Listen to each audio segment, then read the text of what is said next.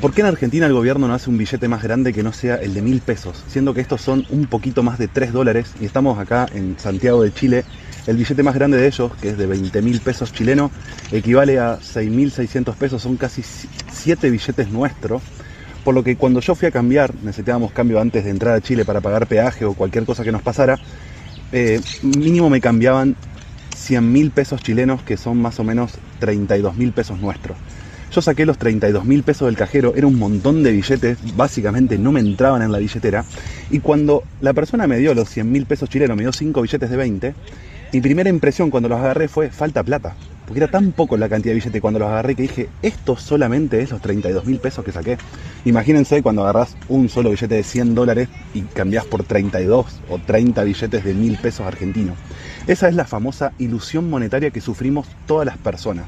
¿Qué quiere decir la ilusión monetaria? Que nos dejamos llevar por variables nominales y no variables reales. Cuando el gobierno saque un billete de 5.000 o de 10.000, vamos a tener la misma sensación que lo que me pasó cuando vine para Chile, que me di cuenta que era solamente muy poquita la cantidad de plata, era un pequeño monto.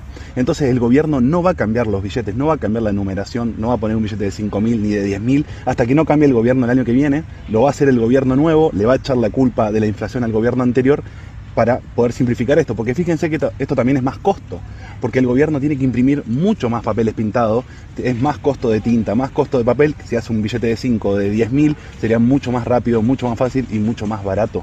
Por eso no pasa. Esto mismo, la ilusión monetaria, la sufrís también cuando tenés un aumento de sueldo por paritarias que por lo general aumenta por la inflación.